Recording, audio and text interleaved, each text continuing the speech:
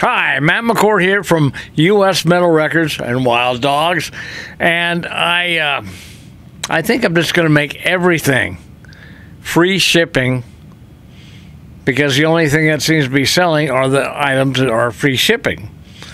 So I will raise the price accordingly and it'll be free shipping. You don't have to worry about it. I will take care of it and put it in the mail and sign anything you'd like.